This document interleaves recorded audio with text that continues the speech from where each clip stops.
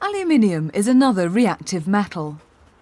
Its reaction with iron oxide gives out a huge amount of energy. A measured amount of aluminium is mixed with iron oxide and placed in a small pot. Potassium permanganate is sprinkled on top. And glycerol is added.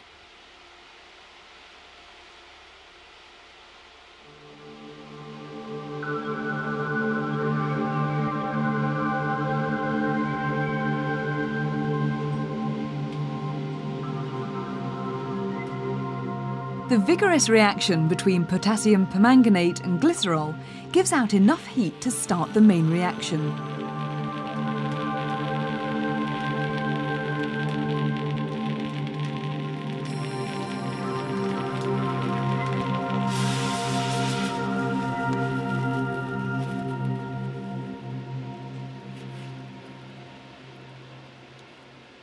Red hot molten iron falls into the bucket. The aluminium has reacted with the oxygen in the iron oxide, leaving iron metal behind. So aluminium must be more reactive than iron. This reaction is so effective that it's used on a larger scale for welding iron railway tracks together.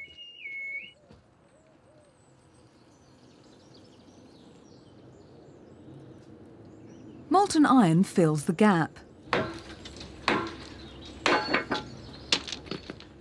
And a grinder makes it smooth.